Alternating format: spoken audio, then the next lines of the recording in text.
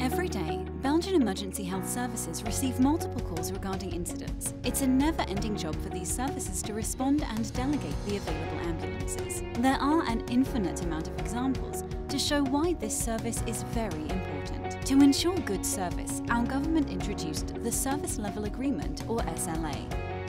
This SLA is an indicator established within the National Council of Urgent Medicine. This service level evaluates the efficiency of urgent medical care in Belgium. Emergency vehicles have to arrive at the scene of an accident within 15 minutes in 90% of the cases. To achieve this objective, the FPS Health, Food Chain Safety and Environment, VVVL, needs to evaluate and improve the organisation of the Belgian emergency services.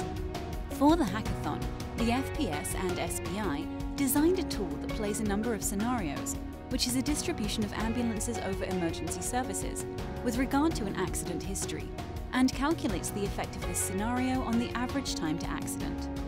For example, what is the impact on the average time to accident of setting up an additional emergency service in the centre of the province of Luxembourg, in addition to the current permanence in Arlon, which is located in a remote corner of the province? To illustrate the tool, we simulate an incident with fake data.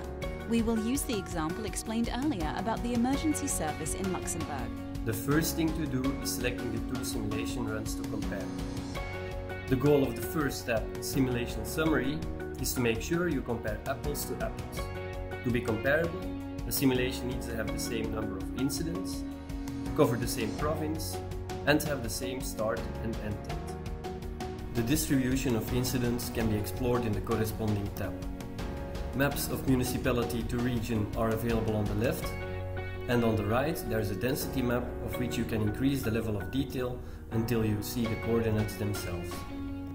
In the Permanences tab, we can verify the differences between the two inputs of the simulations.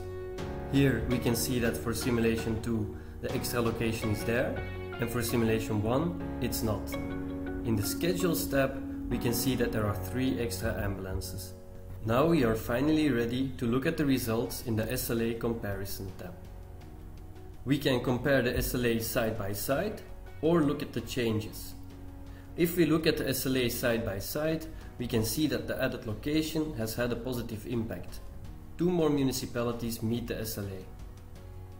To investigate the effect on the whole province, we go to the Change tab and select Municipality. Six municipalities improved their SLA.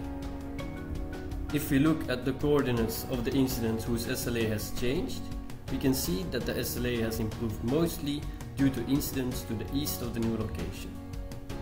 This also has a slight positive effect on the municipalities that are positioned even further to the east, because they need to help less. We can conclude that adding this location improves the SLA for the whole province.